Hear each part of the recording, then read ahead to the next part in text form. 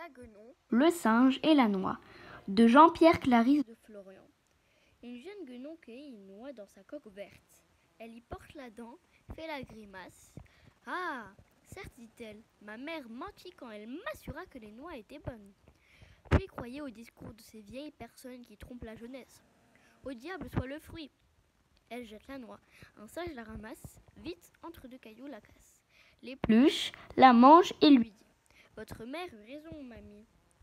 Les noix ont fort bon goût. Mais il faut les ouvrir. Souvenez-vous que dans la vie, sans un peu de travail, on n'a point de plaisir. Mamie veut dire cher ami. Abonne-toi, like et partage pour plus de poésie.